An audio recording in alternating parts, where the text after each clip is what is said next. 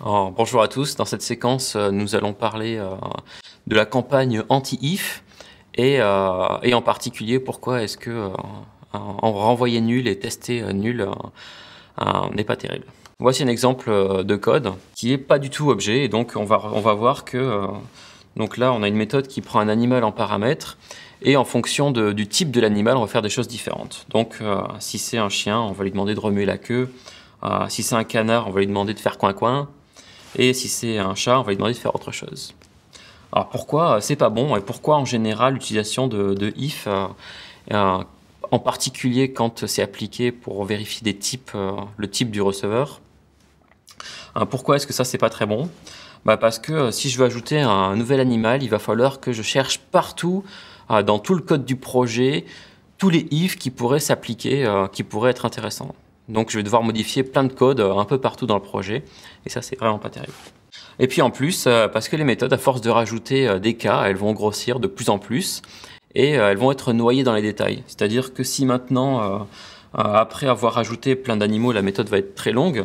Et pour chaque animal, je peux avoir plein de détails. Par exemple, ici, euh, c'est quelque chose qui est particulièrement simple. Mais si maintenant je me dis, ah, peut-être que les chiens, ils n'ont pas tous des queues, et donc il va falloir que je fasse un cas. Si le chien a une queue, alors je fais ça. Si le chien n'a pas de queue, alors je fais ça.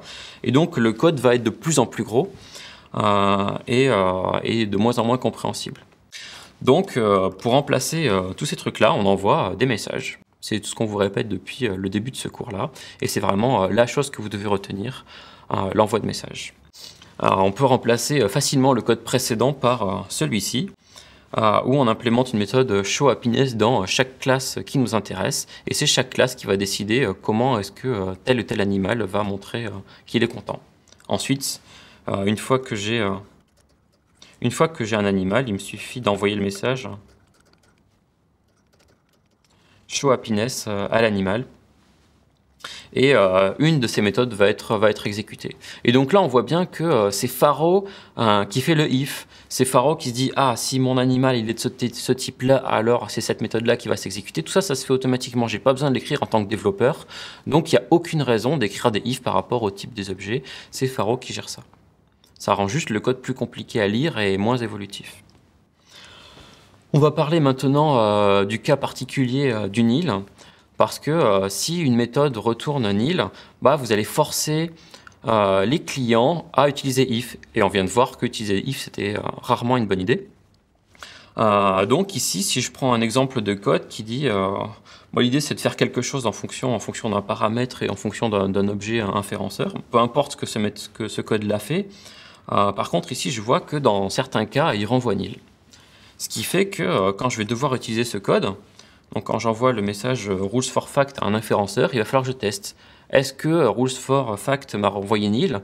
Si oui, alors je fais ça. Si c'est pas nil, alors je fais autre chose. Dans ce cas-là en particulier, on peut se rendre compte que ici, comme on a un pluriel et ici on a un pluriel, probablement que cette méthode-là, elle va renvoyer une collection.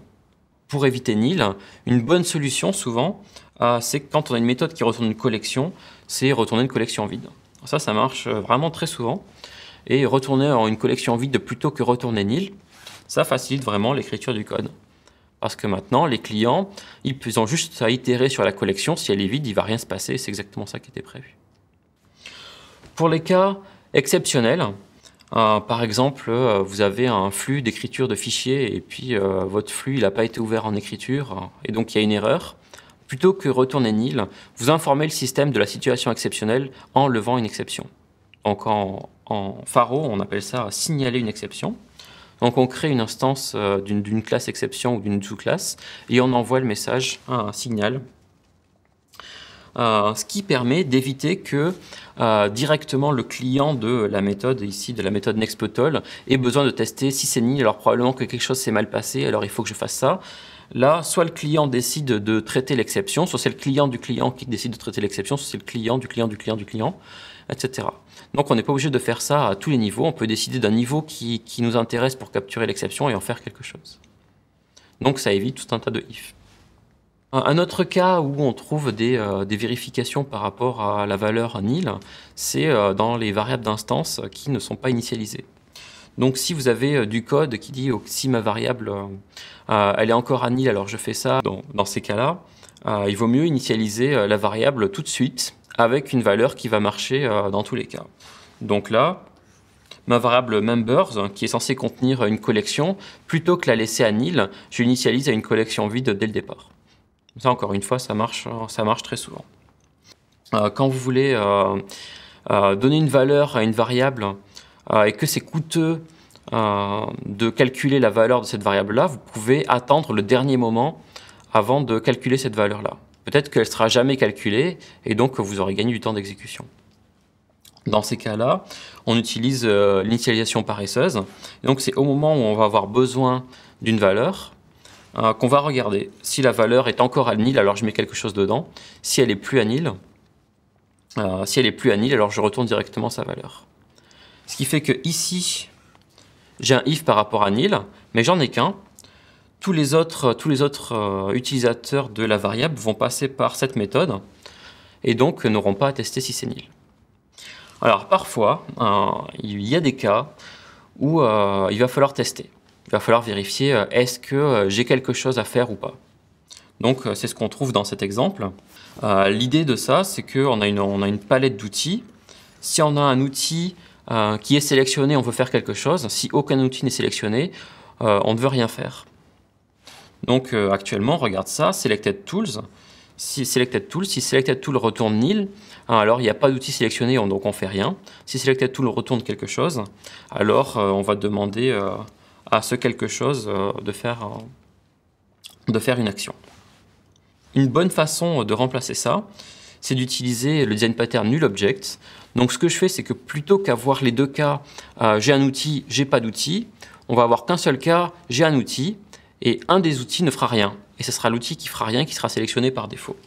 Donc là, je crée un outil qui fait rien. Donc quand je lui demande de faire des actions, il fait rien. Et par défaut, dans ma palette d'outils, je vais sélectionner ce truc-là. Donc plutôt que ne rien sélectionner, je sélectionne un outil qui fait rien c'est le design pattern euh, null object. Pour en savoir plus, vous avez hein, ces références qui sont ici. En conclusion, euh, les messages marchent euh, toujours mieux que les if. Donc les if, vous allez vous en servir dans, certains cas, mais souvent, vous allez pouvoir vous en passer et envoyer des messages sera souvent mieux.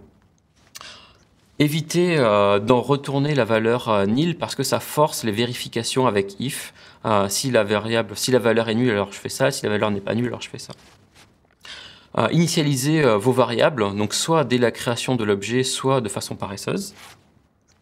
Si vous pouvez, euh, créer des objets qui représentent un comportement par défaut ou une absence de comportement. Alors tout ce que je viens de vous raconter, c'est valable pour Pharo, mais c'est valable aussi pour tous les langages objets. Et vous devez, c'est important de garder tout ce que je viens de vous raconter en tête, quel que soit le langage que vous utilisez.